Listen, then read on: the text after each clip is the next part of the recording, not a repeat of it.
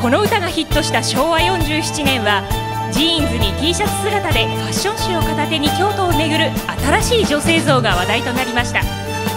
小柳ルミ子さんで「今日のにわか雨」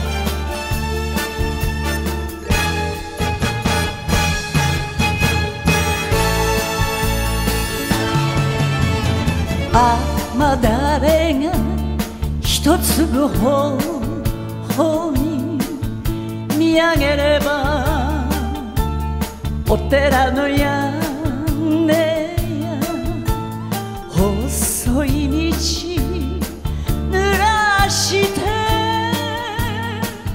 にわか雨が降る。私には傘もない。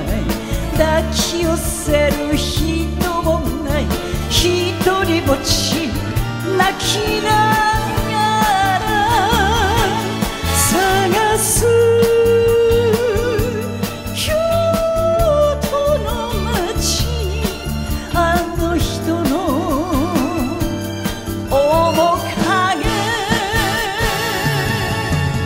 誰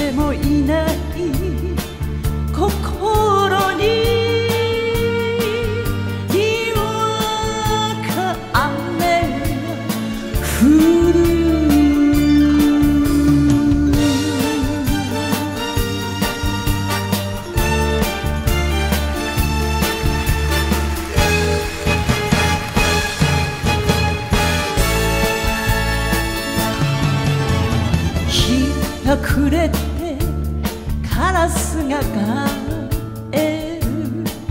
人は皆家路を急ぐ。川岸を濡らしてにわか雨が降る。雨の日も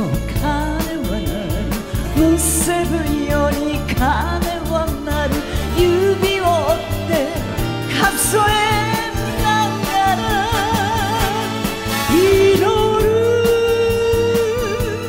京都の街にあの人の幸せ愛を探す心